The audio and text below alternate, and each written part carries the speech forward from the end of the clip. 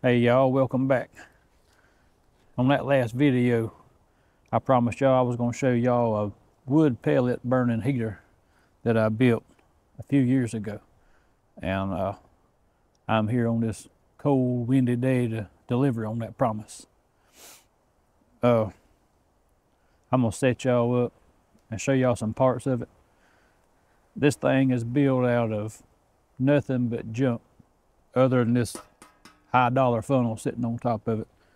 Everything else is just junk, stuff that people was gonna throw away and they let me have. And uh, I made a use for it. Ain't nothing fancy about it. It's it's junk, but it is functional. I'm talking about.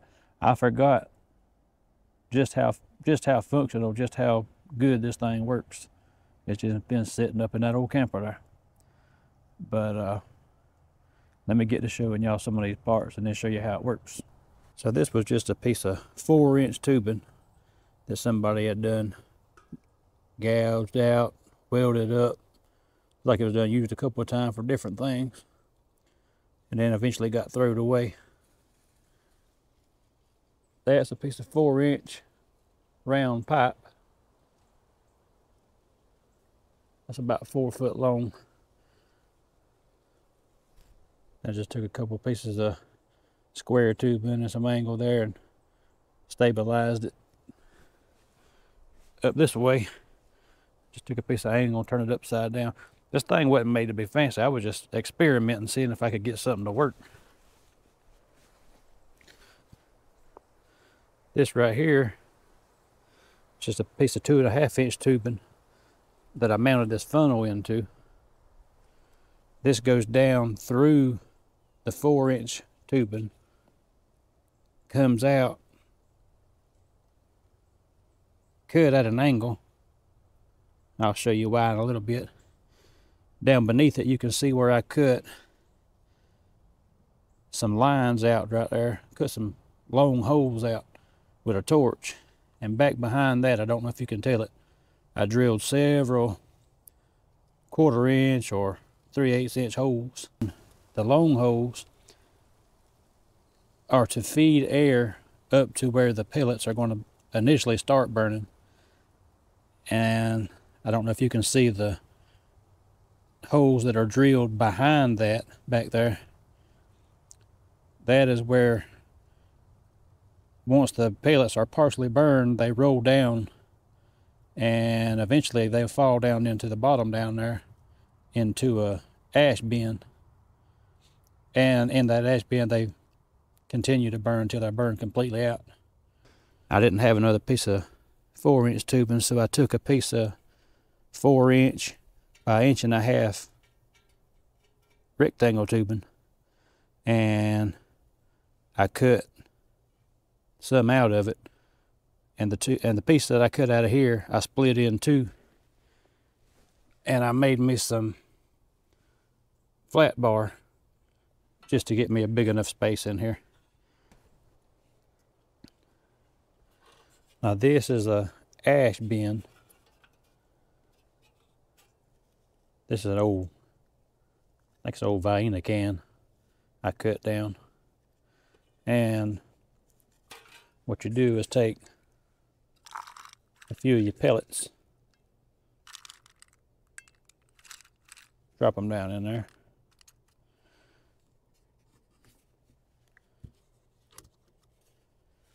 Take some of your 91% rubbing alcohol and put it in there. You'll set that in here to where when this goes in, You want that to be right up under that pipe right there. And this is just made out of old metal stud then you take you another few pellets and just drop in here around it.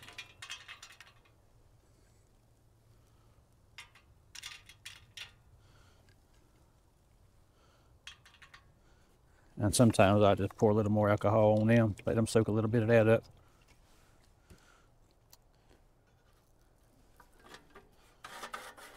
Close that to where it needs to be. Then you take a few more pellets and you can just slide them in there. These are just going to be what gets this thing started off.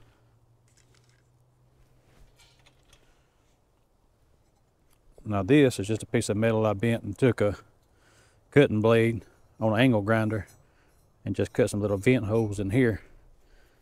Now that piece of pipe that I showed you inside here is set, it's cut on an angle just like that. So when you slide this in there, it slides up to that and makes up. Now, the way you control how many pellets is coming through, how much fuel you're getting, is how tight you have that up against that piece of pipe in there. If you back it out, you got more room, more pellets is going to fall down through and feed that fire.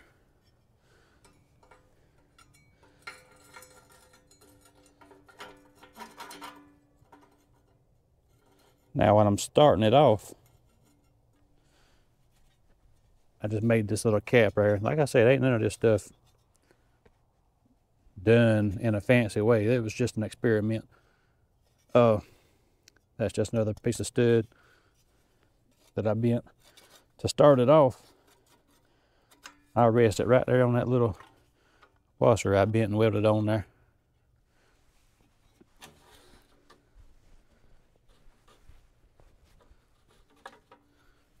And you just take and light that little bit of pellets right there. It's hard to tell when that alcohol is burning. It's burning, but you can't hardly see it. So I slide that up under there. You take your pellet, dump you some in there.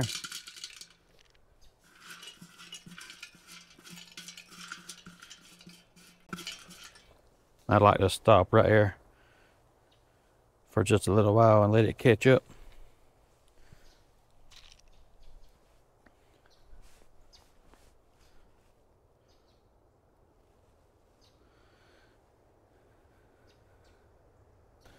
Then you can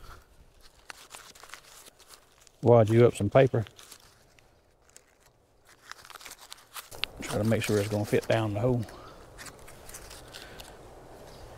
you can light that up. Drop that down your pipe, get your little draft started. That's not necessary. It just speed it up a little bit. You can see it started. And that smoke, it ain't gonna last forever. You give that a few seconds and let it let it start burning up and get up on that grating up there. Now if you watch that smoke right there, it's going to, uh, it'll just quit all of a sudden.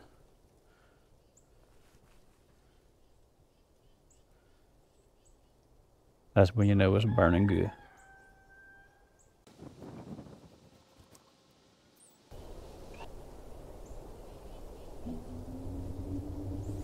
You hear that? Now look.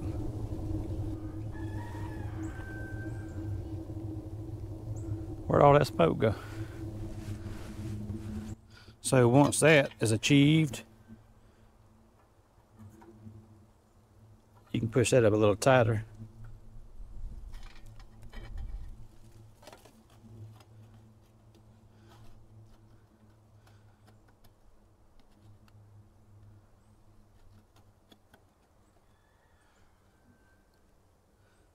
Now you can see I got little grooves cut in here or that'll fit down inside this piece. Then I could open this up, let my air feed from the bottom.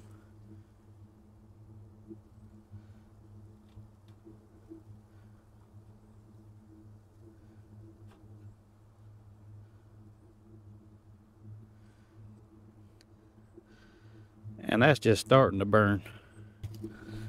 I forgot to show y'all earlier. But these pieces of pipe was 45 degrees on the side with the sun.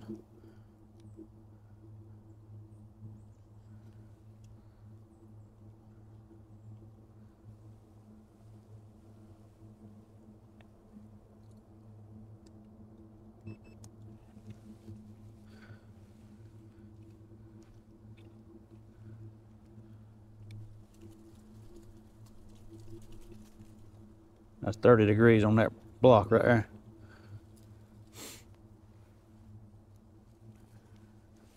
See what the ground temperature is. 27.6. Now this thing's just started burning. Y'all saw it just caught on. It's at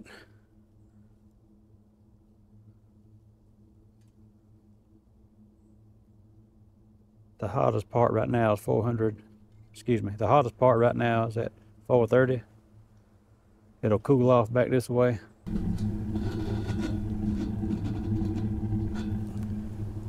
Let's add some more pellets into it.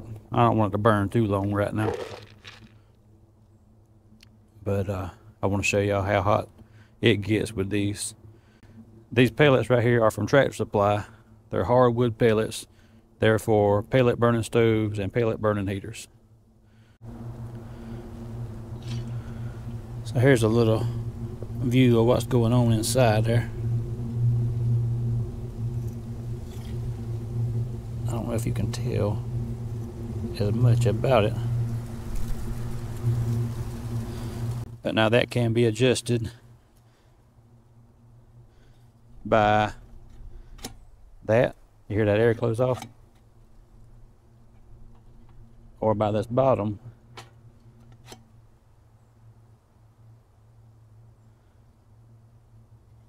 Right now I still got those pellets in the bottom in that can. So I'm closing that off most of the way.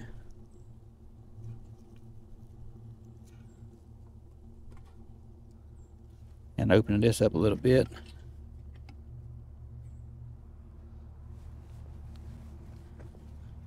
And then we'll get some temperatures on this thing.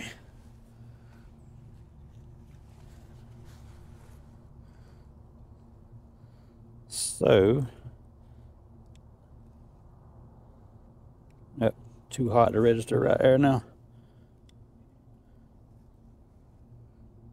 570, 606 right there.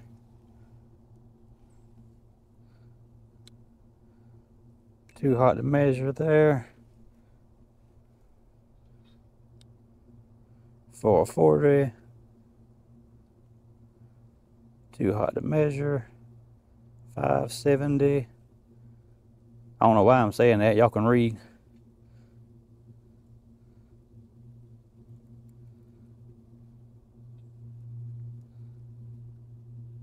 But yeah. It's well over 600 degrees right there. You see how much pellets is burned through since we just poured them in there. But now, like I say, that can be controlled by closing this air off so don't let it burn so fast.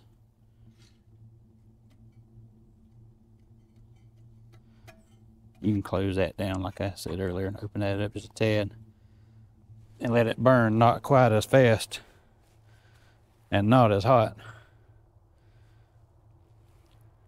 But still get plenty of heat off of it. You can see just how bad it's a smoking right there. All right.